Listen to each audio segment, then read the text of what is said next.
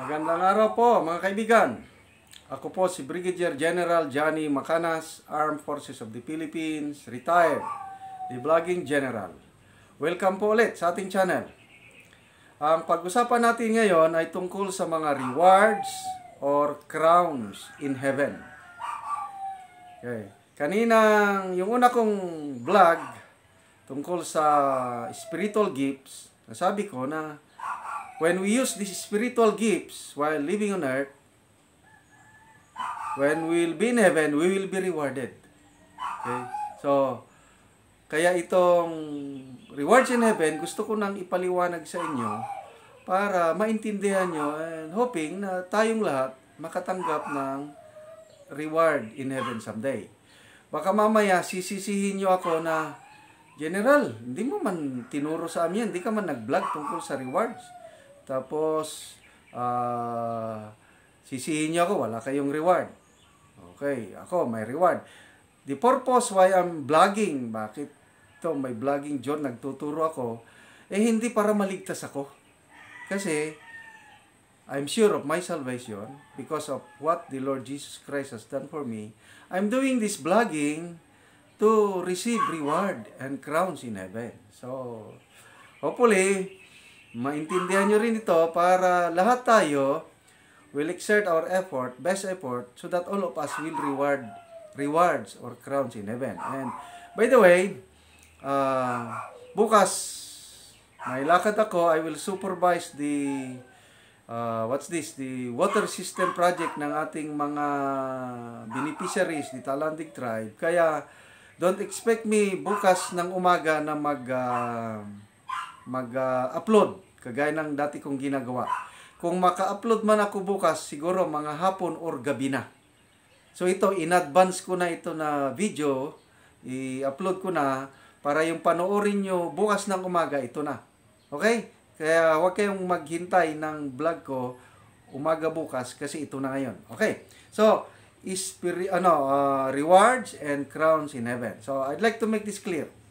Ang kaligtasan natin papunta sa langit ay libre.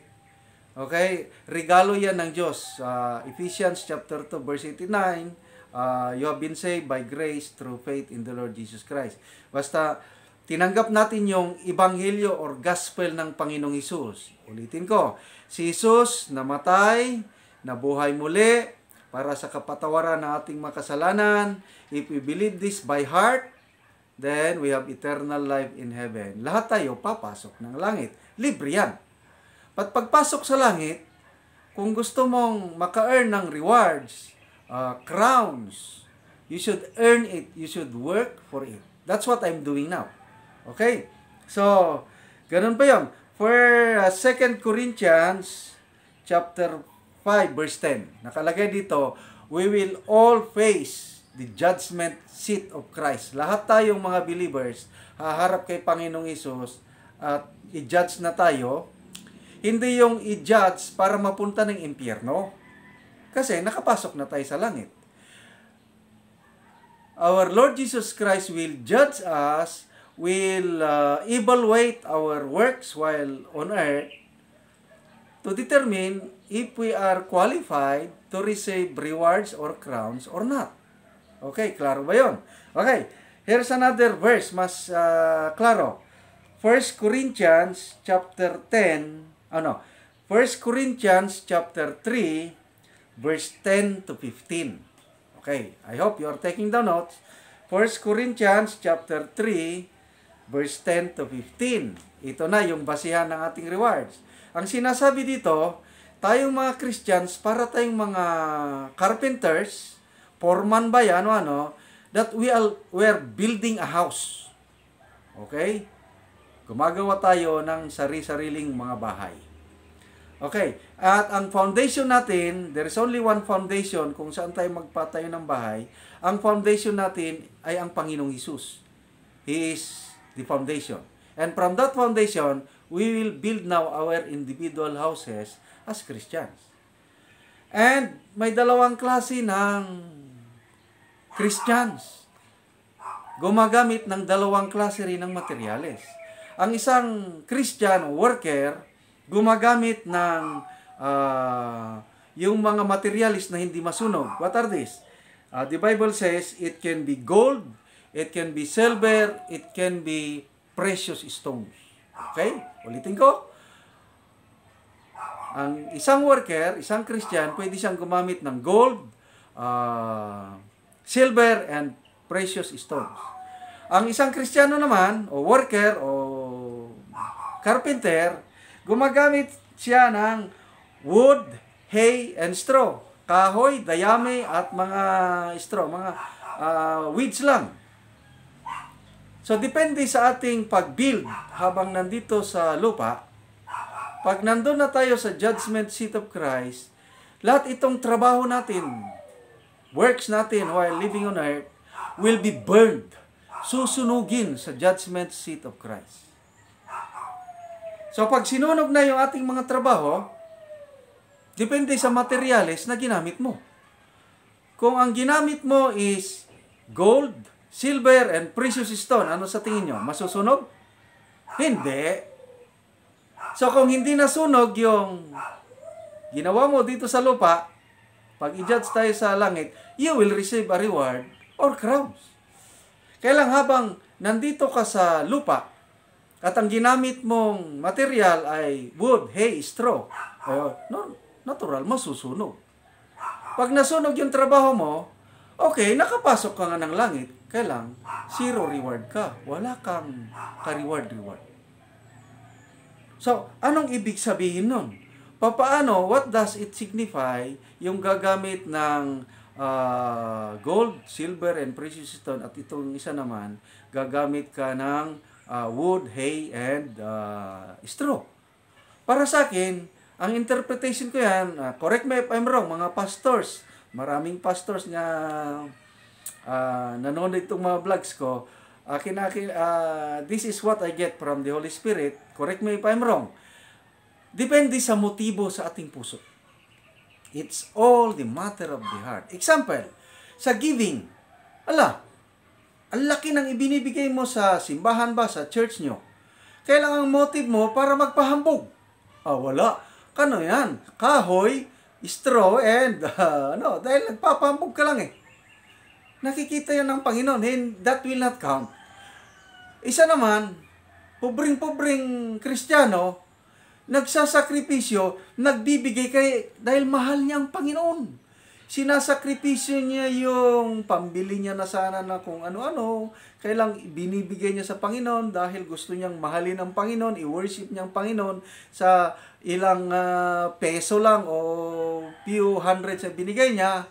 Iyon ang gold, yun ang silver, yun ang ano. Okay.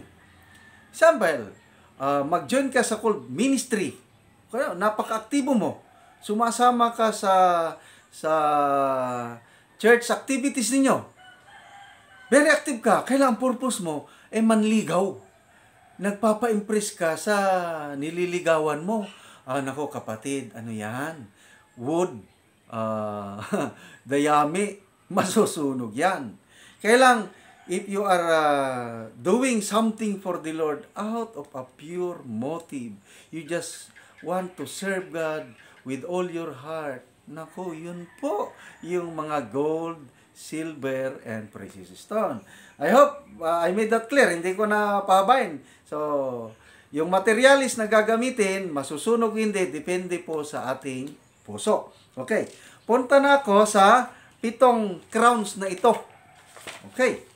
Pitong crowns. Number one, tinatawag na crown of life. Corona ng buhay. Saan natin mababasa ito? James chapter 1 verse 12. So itong crown of life, mahirap kunin. Bakit? Ito po yung crown na ibibigay sa mga Kristiyano na matatagal under trial and persecution. Okay? So, ako, sa buhay ko, sa pag-serve ko sa Panginoon, uh, kaunti lang ang persecution kasi tayo naman kasi Christian country na tayo, when you share the gospel, wala namang masyadong pumipigil. Ang ang itong crown na ito para sa mga yung nakatira sa mga Muslim countries, sa mga communist countries na ipinagbabawal ang magsimba, pinabawal magdala ng Bible. Yun, sila ito. Kaya sa atin, I don't know, para sa akin, parang, uh, I don't know kung makakuha ko itong crown of life. Anyway, may other crowns pa naman. Kasi ulitin ko, ang crown of life, if you uh, stand firm under trial and persecution. Eh sa atin, walang masyadong persecution. Okay, next, imperishable crown. Kuruna na hindi madug, madugnot, ha, ma, hindi masisira, imperishable. So, 1 Corinthians chapter 9, verse 24 to 27. Ang illustration ni Saint Paul ito, yung parang athlete, na disiplina mo yung sarili mo, mag-practice ka para manalo ka sa marathon ba yan o boxing. Self-discipline, parang Manny Pacquiao. Okay. Itong kurunang ito, para sa atin, pwede tayo, pwede ako. Yung i-control yung sarili para iwasan ang kasalanan. So that will please the Lord. Yung uh, hindi mo na lang sundin yung gusto mo, kasi, example, bisyo ay nung una para sa akin ang sarap mag-inom, ang sarap yung last of the flesh, last of the ang, ang sarap noon. Kaya lang iniwasan ko na. Self-control na para uh, makaiwas ako sa kala- kasalanan, mapaligaya ko ang Panginoon, ito, makakatanggap ako ng imperishable crown. Kayo rin, mga kapatid. Pwede tayo dito. Iwas sa kasalanan. Okay? Iwas sundin lang natin ang ipinapagawa ng Panginoon, iwasan ang kasalanan, qualified tayo ng imperishable crown. Number three, crown of rejoicing. Ah, dito ako.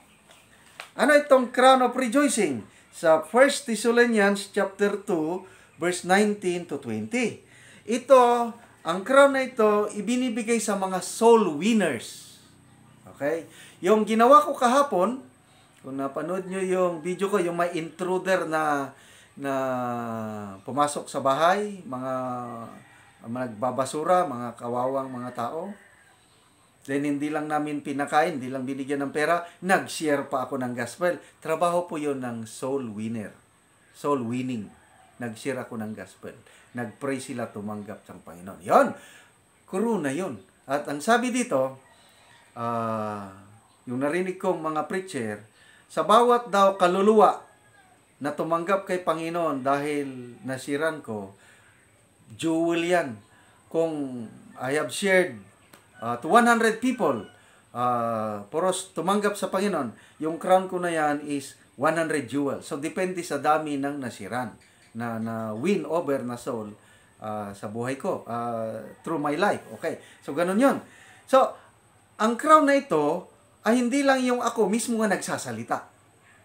Example, ang aking wife, hindi naman siya nakapagsalita kasi nga ang wife ko hindi masyadong marunong magsalita. Kaya lang siya ang nagkaroon ng conviction na dapat masiran. Kaya inutosan niya ako. So sumunod naman ako, nag-share tumanggap sila. So hindi lang ako ang makatanggap ng crown na ito, pati ang aking misis kasi siyang nag-utos sa akin. Ganun po yun. Kaya itong crown of rejoicing na ito, pwede sa ating lahat kahit hindi ka marunong mag-share ng gospel. In what way? Kung magawa mo, it's either one of these four, you can receive this crown of rejoicing. Number one, you go and share the gospel. Ako yung ginagawa ko, goer ako. Kung hindi mo naman magawa dahil may nakasapagsasalita, wala kang gift of teaching, or evangelism, qualified ka ba? Anong gagawin mo lang? Magbigay ka ng pera. Suportahan mo yung mga missionaries, pastors ba yan, pare, na nag-pre-preach ng gospel, if you are giving money, supporting them, qualified ka na. Okay? Next, if you pray for them, Example, kayo, pinag-pray-pray nyo ako as I share the gospel. O qualified ko if you pray. And the next, ito yung mas mabigat. Kahit hindi ka mag-share sa salita, but if you live a holy life that is pleasing to God, that will attract people, nakikita nila ang Diyos, nakikita nila ang Ginong Hesus sa buhay mo, at dahil sa nakikita nila ang kaiba ng buhay mo, lalapit sila sa Panginoon dahil sa iyo, wow, that's the best na soul winning. Example, may vlog na ako dyan na the greatest miracle in my life. yung tungkol sa karpintero, nung tinyente pa ako, nagtatrabaho sa aming kampo, hindi siya nagsasalita dahil mahihain, karpintero lang. Oh, no lang, ah. karpintero siya, ako yung opisyal, nahiya siya. Hindi siya nag-share ng gospel, kaya nakikita ko yung kaibahan ng trabaho niya, ibang-iba siya sa mga ordinary carpenters. Kaya na-attract ako sa kanya, nalaman ko na dati siyang masamang tao at binago siya ng Panginoon, ako, nag-discern ako na gusto kong maging katulad niya, yung karpintero na masama na nabinago. Kaya, Nakalapit ako sa Panginoon, binago ako ng Panginoon dahil sa buhay ng karpintero na yon. Yung karpintero na yon makakatanggap ng crown of rejoicing dahil ako produkto niya. So, sa buhay lang natin mga kapatid, let's live a holy life pleasing to God. At maraming makakita ng kaibahan ng buhay natin, yun na yun, crown of rejoicing na yun. Ulitin ko, either you go and preach the gospel, You give your money so that others can preach the gospel. You pray for those who are preaching the gospel. You live your life. Ang i-preach mo, yung buhay mo, kahit hindi ka magsalita, you can receive the crown of rejoicing. Klaro ba? So, hindi ka masisiro. Number 4 na tayo, crown of righteousness. Ang basehan nito, crown of righteousness, 2 Timothy chapter 4 verse 5 to 8. Ano naman tong crown of righteousness? ibibigay ito sa mga tao na hinihintay yung pagbabalik, yung second coming ng Panginoong Isus at habang hinihintay niya yon, yung tao na yon is living a holy, kung hindi man holy na holy, yung sinless life, yung yung umiiwas sa kasalanan kasi gusto niya na i-prepare yung sarili niya, i-meet niya ang Panginoon sa kanyang pagbabalik. Yun po yun crown of righteousness. Kaya may vlog na ako tungkol sa second coming of the Lord Jesus Christ. Magkakaroon ng rapture. Okay? Kung naka-ready yung buhay mo, nire-ready mo, you live uh, uh, holy life. O hindi man yung perfect na 100%. Yung, yung kasalanan, umiiwas ka na. Tapos, pagbalik ng Panginoon, ma-rapture ka. Yon May crown of righteousness ka. So, pwede tayo dito sa crown of righteousness. Hintayin natin ang pagbabalik ng Panginoon at i-prepare ang ating sarili palagi para madala tayo sa rapture. Number 5, crown of glory. Ang crown of glory is 1 Peter chapter 5 verse 2 to 4. Itong crown of glory para sa mga pastors, mga pari, mga ministers, and I hope mga madre kasama rin yung those who have devoted their time fully to the Lord. Okay, ito para sa mga faithful, obedient, and God-called men and women who will serve the Lord. Okay, para sa kanila.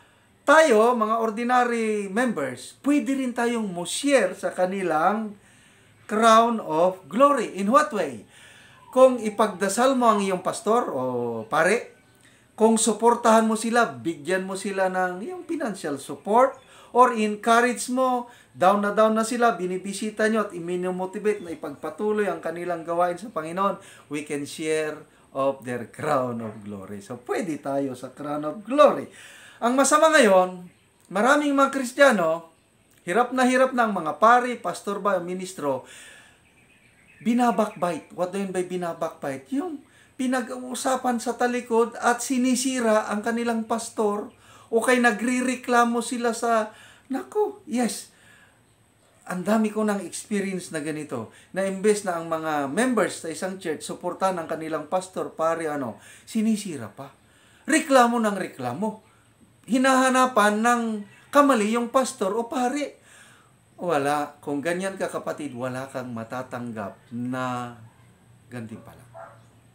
Kung ganyan ang ugali mo, baka nga hindi ka makapasok sa langit. Hindi ka tunay na follower ng Panginoong Isus. Kung uh, pinagsasalitan mo ng masama ang iyong pari, pastor o ministro. Okay? Number six, overcomer's crown. overcomer's crown sa Revelation chapter 3 verse 11.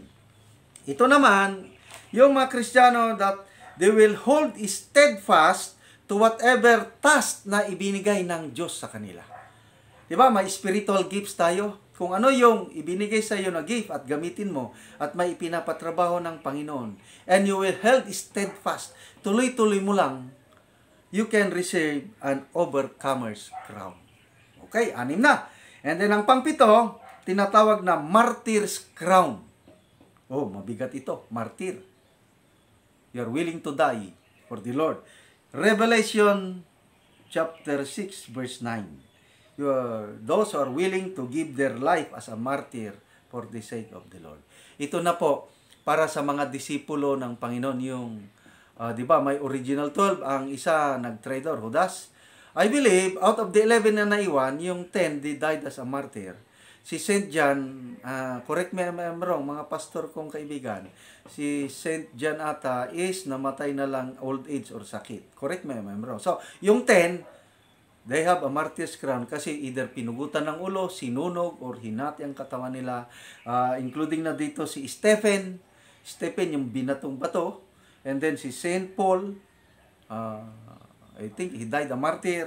Marami pa yung mga unang mga saints. He died a martyr. I believe kasama na dito si San Lorenzo Ruiz and San Pedro Calungsod dahil namatay sila while preaching the gospel in a foreign land. Okay. So, mahirap ito. Ah, palagay ko, I don't know kung qualified ako dito, but if God calls it to be, why not? So, so i-summarize ko, seven crowns is crown of life, crown of imperishable crown, uh, crown of rejoicing, crown of righteousness, crown of glory, overcomer's crown, and martyr's crown. So, ang mahirap na kunin, yung martyr's crown at saka yung crown of life.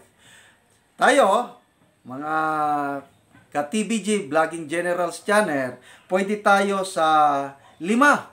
Yung imperishable crown, mag-self-discipline tayo, iwasan ang mga kasalanan at sundin ang Panginoon para maging maligaya siya, imperishable crown, crown of rejoicing, yung sharing the gospel, kahit hindi ka marunong magsalita, magbigay ka ng pera, mag, ah, ipagdasal mo yung mga naga-preach, Ah, ano pa yon?